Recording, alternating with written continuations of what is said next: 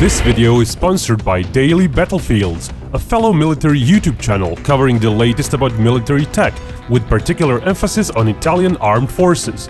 Recent coverage includes info on new Italian frigates, Cavour aircraft carrier Air Wing, or next-generation spy satellites. If there's something you wanted to know about Italian army, Daily Battlefields is going to cover it.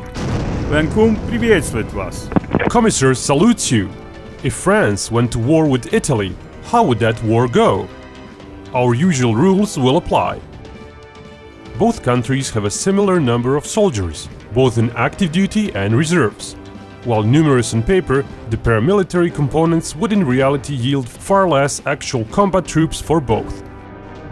Two countries share a border, which would quickly become a battlefield. Furthermore, the Mediterranean islands would also get contested. Initial disposition of ground forces would slightly favor the French. They have over 4,000 troops stationed close to the border. Italians have roughly half a brigade. Taking into account troops a bit further away, France could initially still muster more troops than Italy.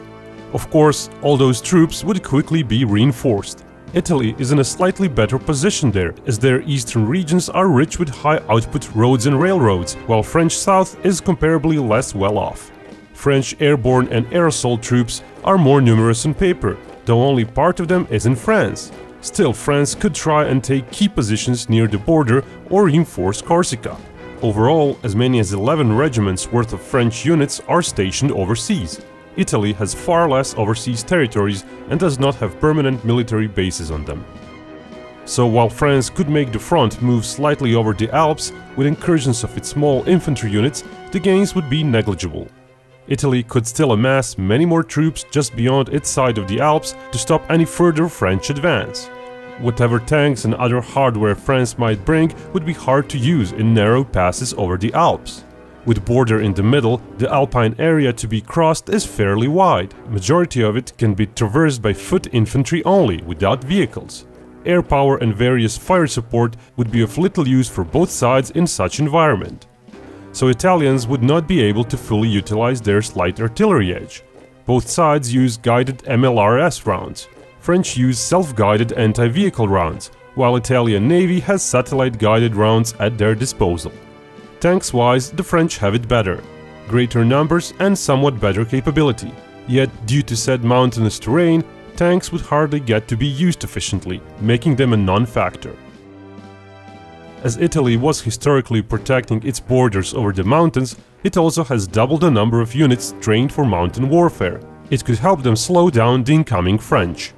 Infantry vehicles, just like tanks, would be of little use. If one tries to use them, they would basically clog up the mountain passes in long lines and give the enemy a very easy target. The Mediterranean would see a lot of action. Italian navy is numerous, as it has to be to protect its islands. Corsica and Sardinia would be targets of choice for both sides. Both belligerents have large naval bases close to each other, but geared more for protecting the Med, Italians have more assets closer. It means Italy could position a big portion of their fleet west of Corsica-Sardinia line, if needed, before the French. So French would not enjoy their theoretical numerical advantage at first. With the proximity of said bases to each belligerent, an air attack by both sides would be likely, trying to get as many ships as possible before they leave their ports. French hold the advantage when it comes to combat aircraft, especially fighters. Their ground strike capable fleet is less superior but is still more numerous. Italians would have no choice but to go on the defensive after the possible port attack. Another French advantage, probably used against Italian air bases, command centers and ships still in ports, are cruise missiles. Italians would have other issues as well, controlling their airspace. The French have more airborne radars. Not only that, but French could rely on their over-the-horizon radar.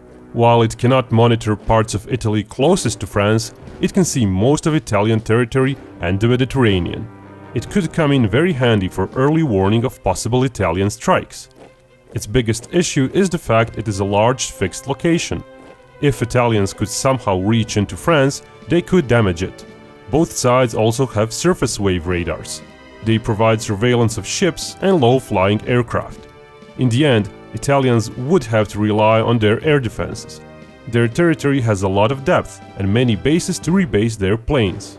While defending, they would be enjoying dozens of ground radars, while the French would hardly dare go far into Italian territory with their AWACS-type planes.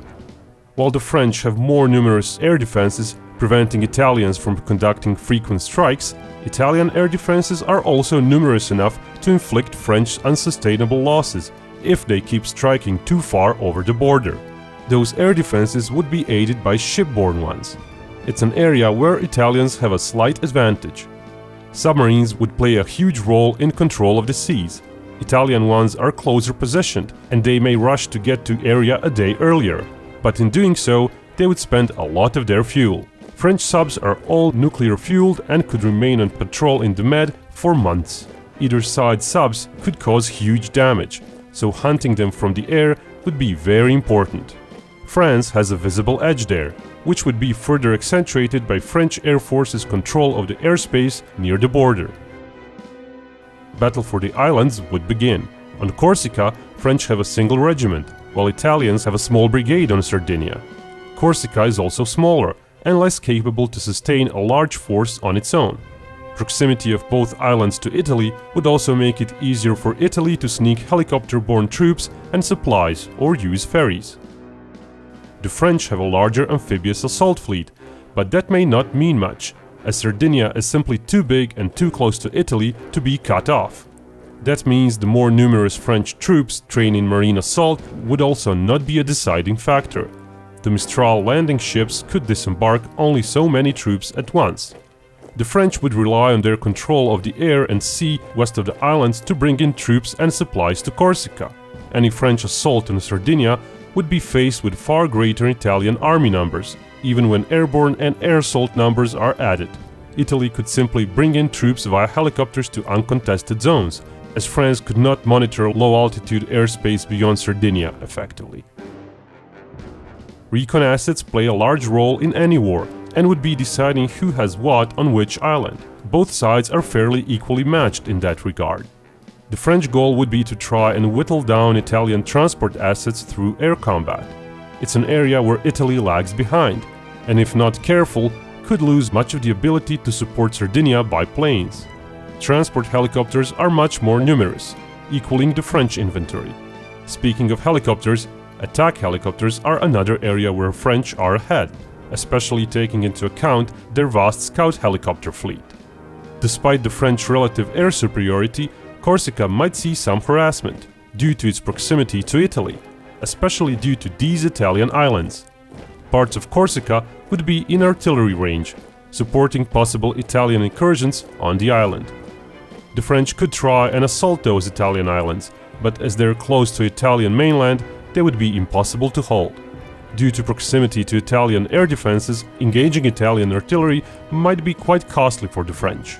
Still, without proper air and naval superiority, Italians would be unlikely to actually hold significant parts of Corsica. Its mountainous terrain would help defenders, but also Italians if they want to seek protection from airstrikes. In the long run though, any disembarked troops would likely have to surrender. France is simply a greater military power. Slightly bigger population and economy put Italy in a disadvantageous position. But the fact France spends much more on its defense really sets it apart, even though a large portion of that budget goes to upkeep of overseas forces and its nuclear arsenal. If the war lasted for a year, some additional weapons might come into play in small numbers, not really changing the balance of power. Still, due to geography, France could not exert its military power too much. Its gains over the Alps would be costly, and it could not hope to bring enough troops over to sustain a push through the Italian low regions. Even in the air and on the sea, if Italians stay defensive and pick their air battles, overall casualty ratio would not favor the French too much. End result, French marginal victory. Big thanks goes to all my patrons on Patreon.